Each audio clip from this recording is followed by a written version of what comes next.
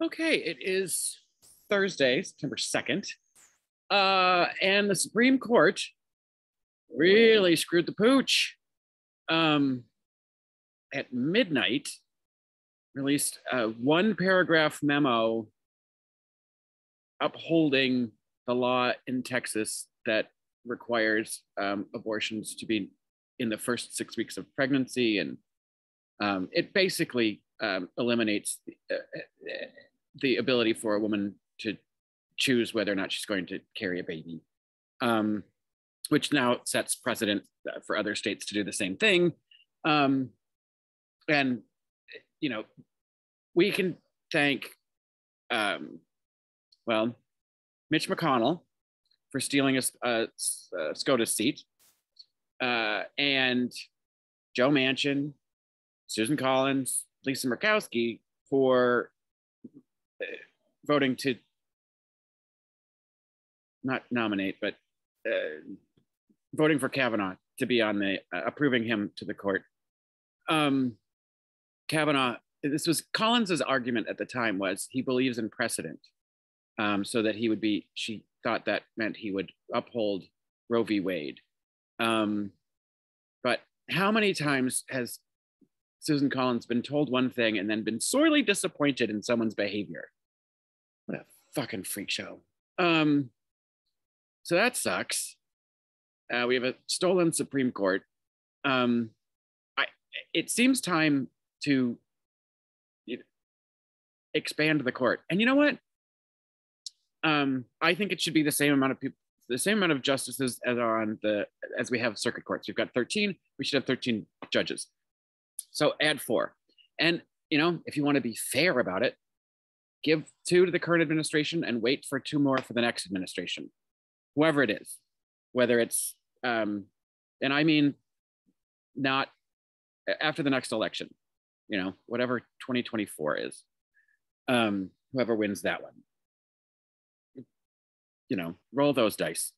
Why don't we? Um, I'd rather that Joe just put four more up, but um, I don't think we're going to get that kind of uh, stones out of the Democrats that are in the um, Senate right now because uh, they can't seem to pull their shit together. And Manchin and Sinema have way too much power, um, and they like it that way. So, um, so in Texas now, you also can open carry without um, permit or training. So you are free to roam around Texas with a gun. You are not allowed to uh, require someone to wear a mask or be vaccinated against a deadly virus that is raging across the state. Um, and women are not allowed to decide whether or not they're going to become a mother.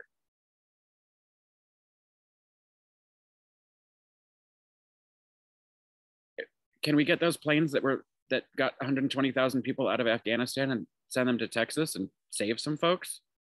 Jesus Christ. Um, so Texas and Florida are off the list. no go.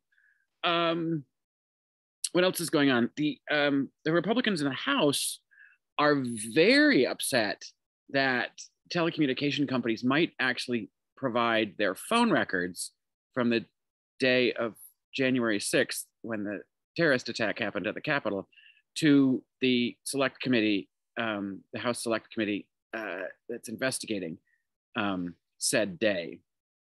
They've made Liz Cheney vice chair of that committee, which was, um, there you go, there's some bipartisanship, right?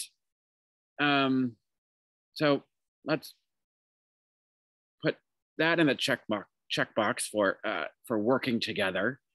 Um, and yeah, uh, uh, Kevin McCarthy and Marjorie Taylor Greene are like threatening um, telecommunication companies for giving over their phone records. It seems to me if it's so important to you that no one know who you talk to on that day, you probably talk to the wrong people and I don't know how anyone would think in 2021 that using your cell phone um, wouldn't be traceable. Like you wouldn't, that communication wouldn't then be known that it took place.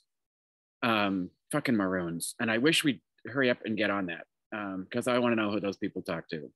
Mike Lee, Jim Jordan. Jordan's a disaster. He's already flipped flopped back and forth about whether he knew, whether he remembered talking to the president or not. Um, I would, they all need to be in jail. Uh, yeah. So that's where we are. And um, our friend Meghan McCain doesn't recognize Joe Biden. Um, maybe she's the one with amnesia.